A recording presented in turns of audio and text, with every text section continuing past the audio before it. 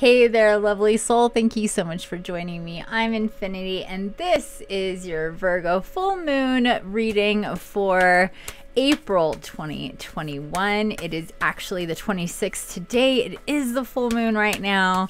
We're getting started with the Moonology Oracle. If you're unfamiliar with me, again, I'm Infiniti. I am a shaman, mystic medical medium, psychic physical empath, and distance energy healer, channeler, medium, psychic, uh, messenger, and divinely guided artist. My website is thehealingbutterfly.org, where you can find my podcast my ebooks, information on me, of course, all the services that I provide between uh, tarot and oracle, private meditation, of course, energy healing. I offer ascension coaching. Um, I work with people and animals worldwide. So please check out my website for more information. And right now, I have a special going on for Mother's Day through the 15th. It's for mediumship awesome deals. So please check out the information below. And I have a video about it too, so you can check out that video about it. Okay, let's get into it, Virgo. Nothing is yet set in stone. Actually really love this card, Virgo, because um, it shows that you are still in process of figuring things out and things are in process of being revealed to you and you're still um or you're in a phase of contemplation of of reflection um and kind of waiting to waiting to see. This is good though. This is good. You're you're allowing for um you're allowing for the process to or the yeah, the process, the cycle. All right, let's see what we got here. Release with Azrael, the end of a phase or situation, spiritual transformation, time to move on. Awesome. Card number 13. 13 is a very um very important number speaking to um not only divine connection but to but to change. Again transformation talks about transformation about spiritual transformation here um the end of a phase or a situation. So something is changing. Something is um coming to a close coming to an end for you. Um and but the beginning of something is still being formed. So you're kind of in i feel like an in-between stage is what i'm kind of picking up on here for you. An in-between stage. Let's get some archangel oracle cards here. Oh, that's a flyer. A couple of flyers here coming out together. What do we have? We have Breathe with Raphael. Take several deep breaths and exhale slowly to awaken your energy and release old patterns. So, breathing, meditating, working with your energy. If you're feeling anxious, if you're feeling like you're kind of being pulled in different directions, stop. Slow down the world for yourself. We have the power to do that. We're the ones that that let ourselves feel rushed and have stress and feel like we need to press and make decisions and have answers and and really a lot of that is on us. We need to release that release those pressures by allowing for time for breath to come in and and be part of your of your presence uh, and your present. Um, so we got released there. victory with Sandalphon. Your prayers have been heard and answered. Have faith. So you've had questions, you're wondering things, you're contemplative, you're in a mode of discovery. And so basically, what I'm getting here is just the fact that you're kind of slowing things down, that you're open to whatever this new information, new situation, new new thing that's happening um, within yourself. I feel this is very internal, and you are kind of looking at the world to align things with.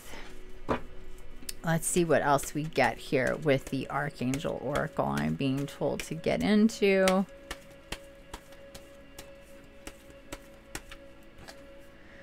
Relationship harmony. With Raguel, we angels are opening the hearts of everyone involved. Arguments and conflicts conflicts are being resolved now. So if there's been separation, if there's been conflict, if there's been relationship issues with with um, loved ones, family members, a oh my gosh, this bug with um with anybody that you're you know very close to, but there has been separation, what it's showing me here is that there is a reunion. There is a um, coming together. It may not be tomorrow.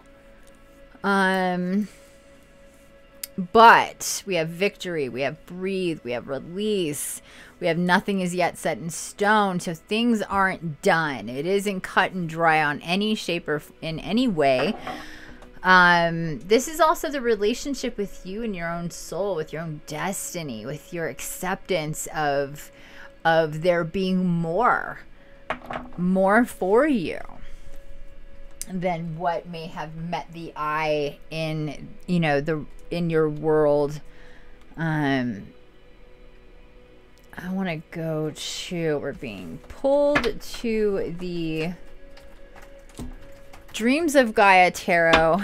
Um, this is a really awesome deck. It's pretty pretty new to me.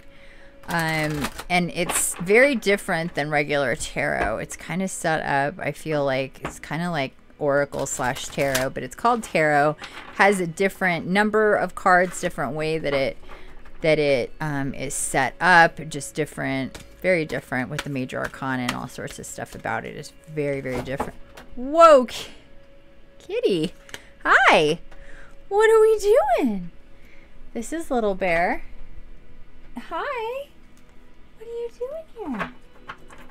She doesn't usually do that. Can we go over there? Oh, you want to say hi to me? Hi. Okay, go.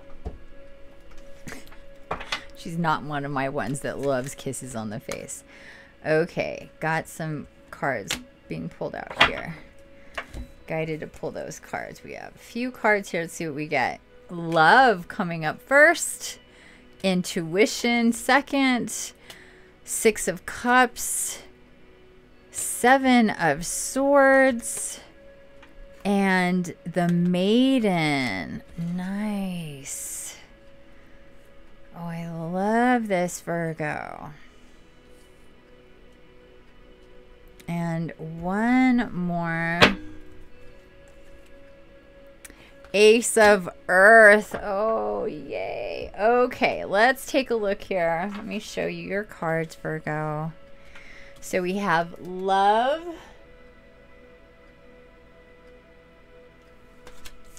Intuition.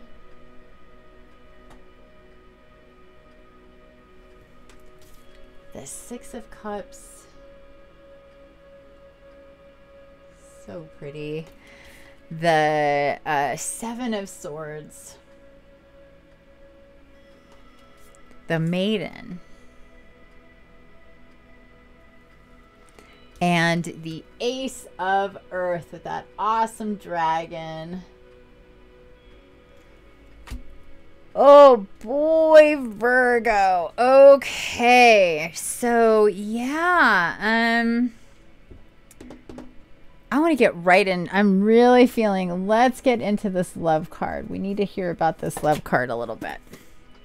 So it's the 12th card of the Major Arcana for this. Are you okay? Wow. Hi.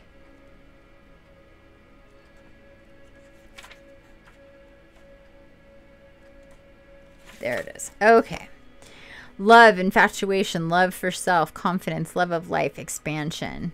Experience love in all forms. Love is multifaceted. Your love will shape you or break you. A past love re enters your life, a love that deserves a second chance. Is it love or infatuation? How do you feel about yourself? Honor your body as your temple. Stop making comparisons. Make time to love and nurture yourself. Love and enjoy your uniqueness. Do not, oh, sorry, do what your, makes your heart sing.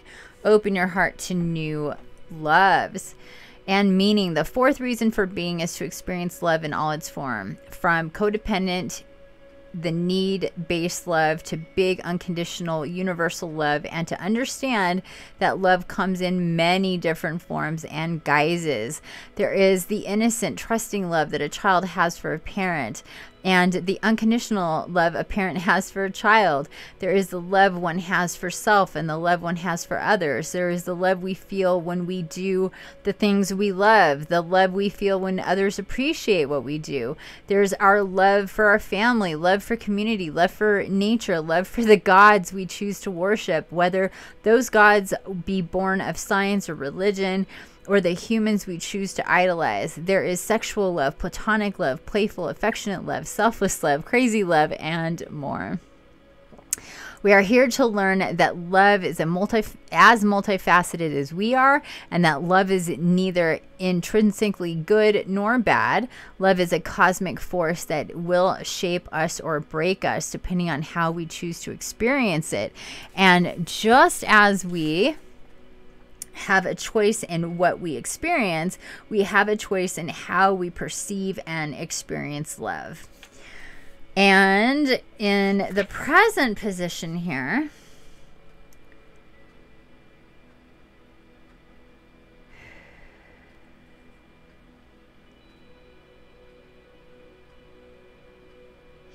So it says when love the love card appears in the present position, it speaks to an important role love plays in our day-to-day lives. How you feel about yourself in the present will shape your relationships for both yourself and others. It can either motivate or prevent you from following your dreams and nurturing your passions. It will influence all that you endeavor. The presence of the love card in this position asks, How do you feel about yourself? When you look in the mirror, do you like the person staring back at you? Or do your eyes slide away as quickly as possible? What are the words that whisper in your mind as your eyes meet, if they meet at all? If you cannot look at yourself in the eyes and like what you see, do do you then seek what you cannot give to yourself from others? Do you try to hide your own lack of love for self by being loving and nurturing to others? If so, why do you feel unworthy when you are most wor- worthy person of them all? Okay, so it's it's a lot longer than that. I'm not going to read it all, but so what I'm feeling here with this love card is that it's like you you're like who am i even? Like i feel love for myself but i'm still figuring out who i am what my place is. Again nothing is yet set in stone relationship harmony. I feel like this is relationship harmony with you too um really a lot um with this love card. It's like you were born in a body to experience this life, to have this journey, to have, you know, we have a purpose, we have a destiny. How we move through that is our choice. Um, and then we have intuition. So you're somebody that's highly psychic, feels a lot of love, is very emotional, but you're also Virgo. Says, I love these two cards together. These two cards really paint a very, very awesome picture of what is internal within you, Virgo, because we have the thinker, we have this, you know, the book, the thinker. He's spiritual, though. He's connected, he's spiritual, he's intuitive, but he's, um, he can be very logical and very, um, decisive here. We have the six of, of water really coming in um, as this um,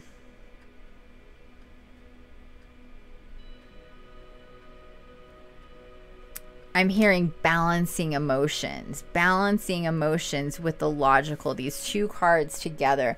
And then the maiden the maiden representing um, beginnings um, coming into yourself learning about yourself the maiden so the maiden is the so we have the maiden, the mother, the crone. So the maiden, so regardless of your gender, the maiden is representing the first stage after adolescence, um, after childhood, the first like adultly period of your t- of of life where you're a young adult, the maiden, um, and still discovering self, still discovering life, discovering nature, the elements, how people um, perceive you, how you perceive others, ex- uh, gaining an experience is still very new and fresh.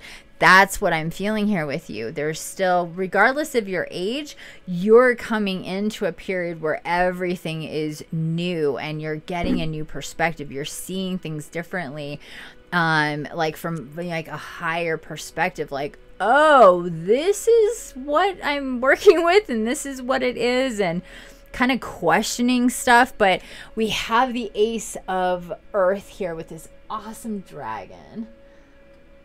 Um, saying you're very connected and you're guided, whether you're fully aware of that or not. I want to get more cards here with the Light Seers Tarot um, because Virgo, you have a lot going on internally. You're trying to figure this out, trying to get into equilibrium and balance within yourself. It's going to happen. The more you release, Ten of Swords, the Emperor, the World, Queen of Wands, Seven of Swords, and the Moon. Love it. Um, one, two, three. Okay, so we got our clarifiers here. Those came out fast. So we have the Ten of Swords with the Love card um, in reverse. So this card, especially in this death, this Ten of Swords, um, yeah, a lot to work out and and figure and to figure out to get this information down from spirit to you. That's what these birds are kind of representing. We're guiding you, but the clearness of that hasn't yet manifested, but we have this intuition card and the emperor coming up with this intuition card. Um he did come out in reverse. Um and it's interesting here.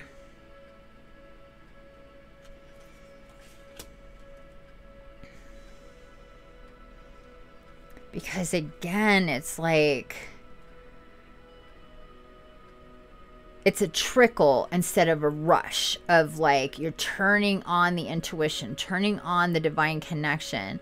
Um turning on your connection and and really kind of establishing like yes i'm a spiritual person. I'm connected to spirit. I'm getting information. I have there's more going on. There's more that i can see and feel into. This love card is so telling too. It's like it's a relationship with self. It's a relationship with with mother earth gaia. It's the relationship with your own loved ones it's it's this is a, a lot about how you see things and the relationship you have in the world. And literally the world card coming up here it is right side up and it is right side up with the six of cups. So this is definitely coming here. Queen of wands under your seven of swords. Um so we're balancing this out this um earthly energy and this air energy, this um, grounded energy with and and feeling into like the spirit and magic but also like not wanting to be lost in fantasy and things that aren't real like kind of really like wanting to know what this is all about. Seven of swords with the maiden um and then the moon in reverse.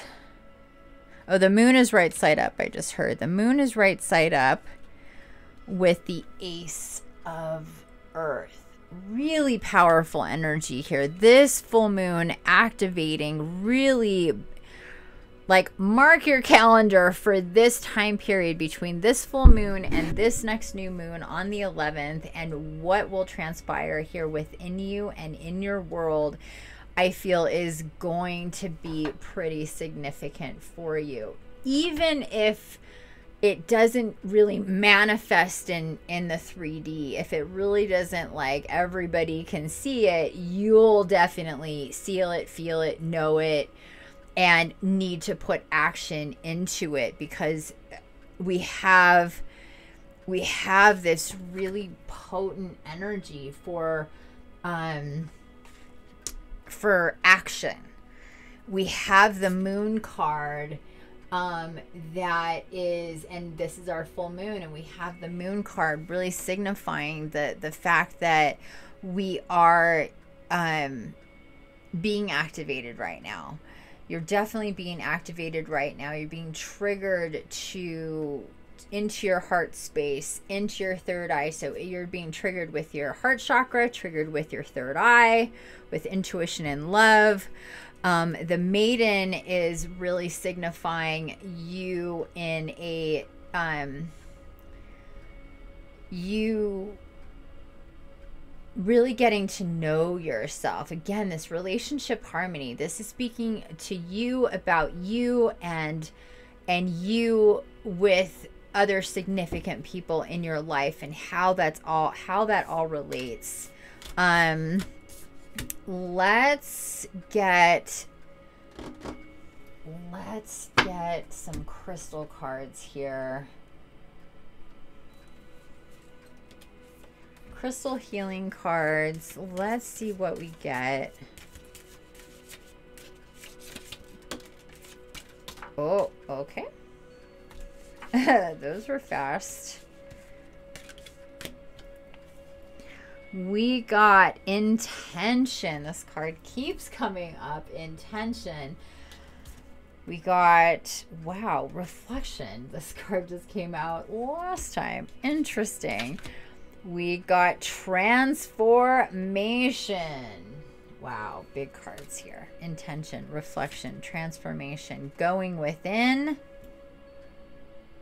going within, and moving forward with air. So there's um, pretty intense air energy here, too. Air, actually, air, earth, and water.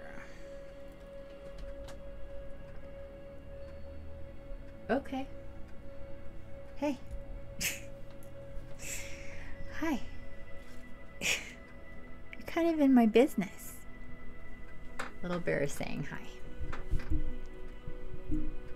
If I give her kisses, she hates that. Mm-hmm. Right? Um. Okay, so sorry about that. Transformation. Here, center of your crystal cards is transformation. I really feel that is what's happening. Transformation coming right in under the world card.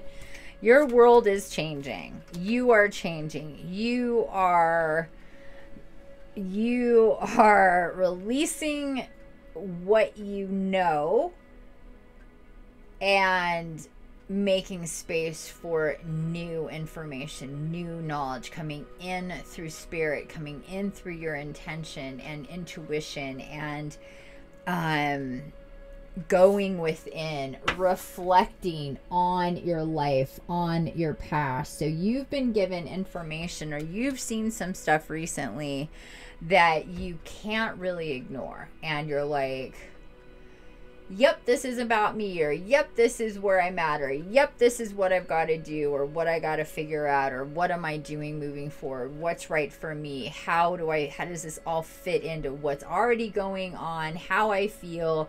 I feel like there's a, a big web connected to you. A big web of energy connected to you that a lot of it needs to be released.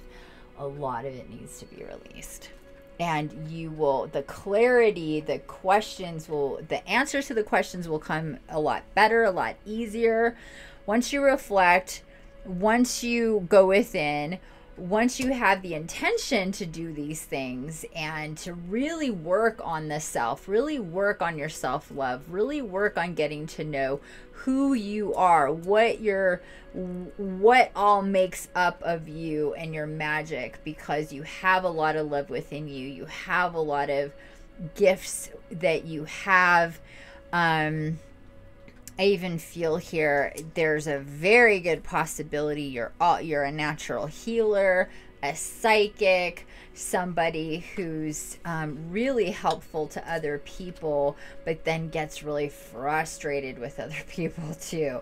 Ah, the the life of a healer. Um, but mostly like what's really really big here moving forward onwards and upwards. Let's let's move forward. Let's let's use this air energy to really blow out the past energies and let's see what stays. Like what's important to really reflect on? What's important to, to work on healing um, to work on on transmuting to work on releasing. What what still pains you? What do you hurt over? Who do you still judge? Or who who can you trust? Oh we gotta i'm still here we go. Venom. Venom. Let's read about venom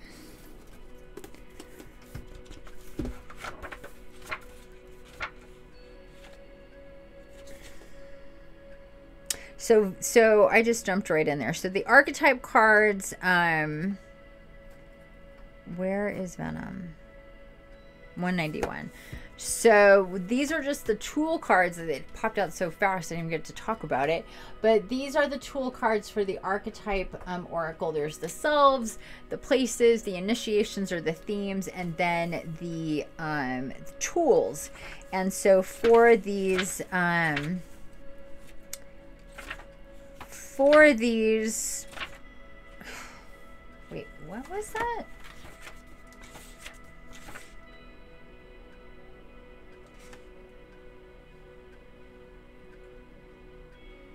Oh, 191. I thought that said 71.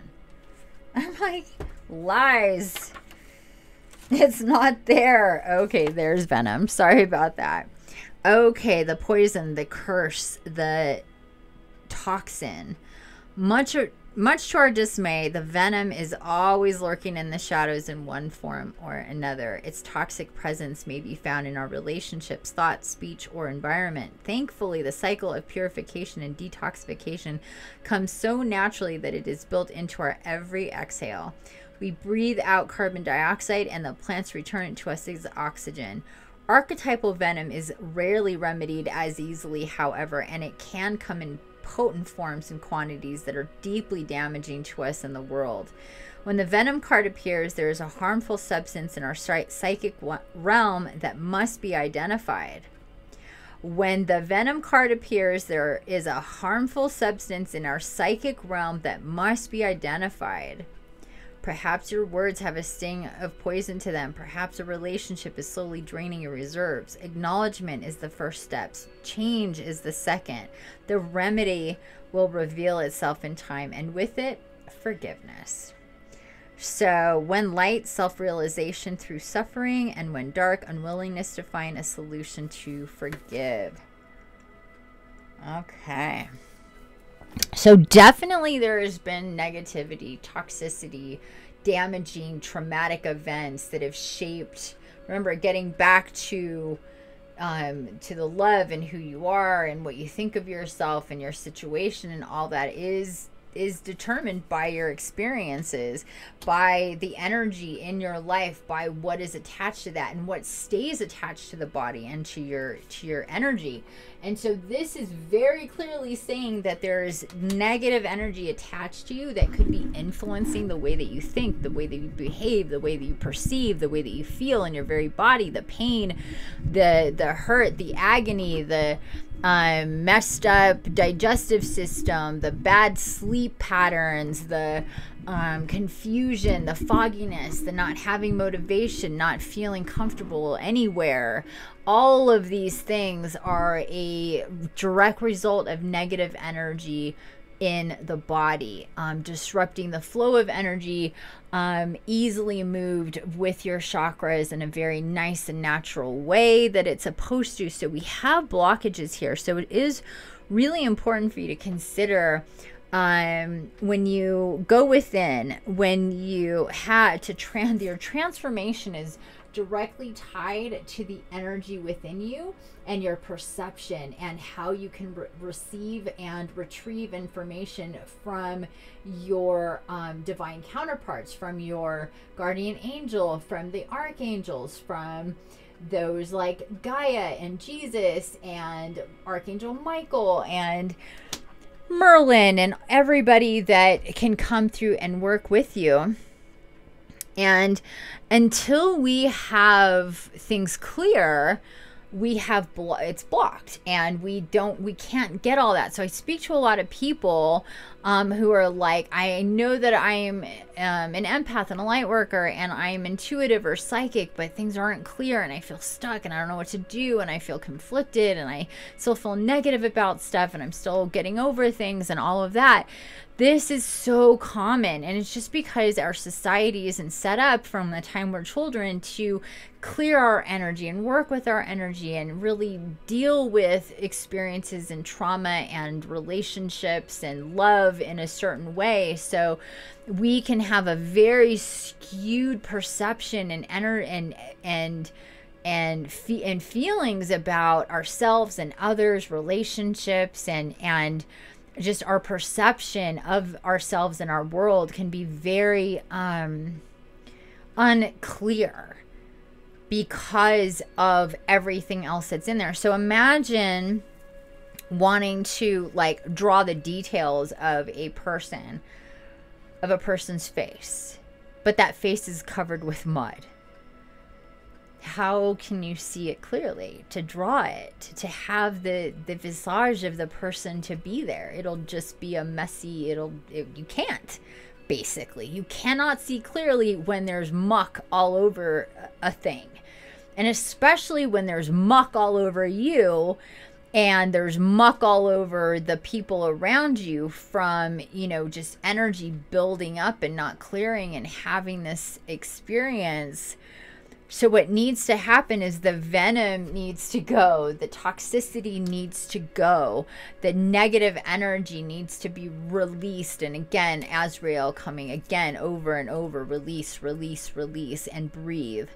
And um, she also talked about with venom, you know, we we build up carbon dioxide through our breath and we release it, we let it go. So the breath really coming in here. So if you find yourself holding your breath, I used to do that a lot. I'd find myself holding my breath because the energy within me was not comfortable. And I would just hold my breath. It was a really weird suspension of reality kind of thing because I was chronically ill for most of my life. And so, um, because I didn't know who or what I was and my energy or anything about how any of this stuff worked until 10 and 5 years ago in different stages. And so, um, I would find myself holding my breath a lot. And I know a lot of people do that. They don't even realize they're doing it, but they're doing it. So if you find yourself doing that, this is another good indication. If you get around people and you're spontaneously really tired, um, you yawn or sneeze a lot, and um, this is these are also indications that you're highly sensitive to energy around people, um, and that's regardless of you know how clear you may be. It, you are more sensitive the more kind of stopped up you are the more full you are with energies that are not authentically yours.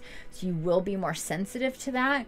If you've also found yourself kind of retreating um, and kind of being very picky and choosy about the energy you want to be around it's because your body is transmuting and trying to balance out these energies so, Virgo, your advice here is to um, be patient with your process.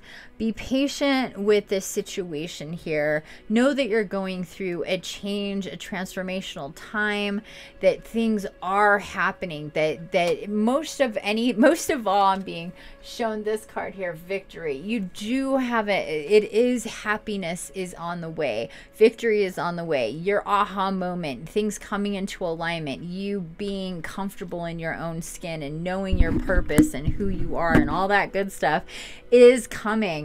Remember, going within, transformation, reflection, intention, getting rid of the toxicity with the venom.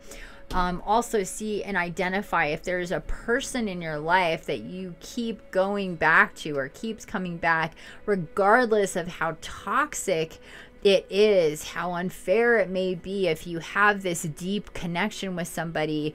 Um, think about cord cutting. My book um, is the important of the importance of cord cutting.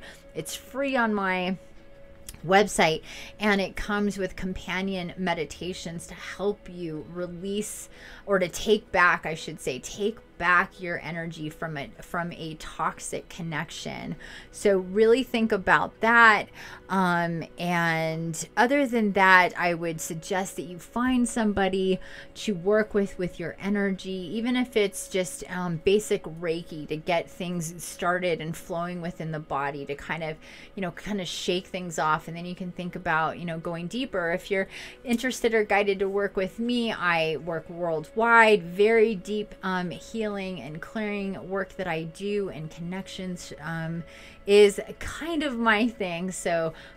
please check out my website for more information on that and what I could possibly do to help you. And aside from that, I have a ton of information on chakras, energy, negative energy, healing, clearing, my own experience with my own chronic illness and overcoming that.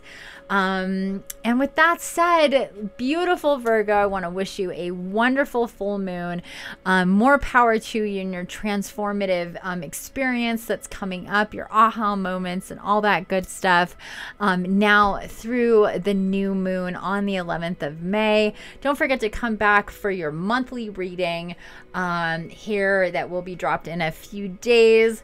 And I look forward to doing those and um, just sending you lots of love for the future. You have a lot of support. Remember, deep breaths. Okay, Virgo.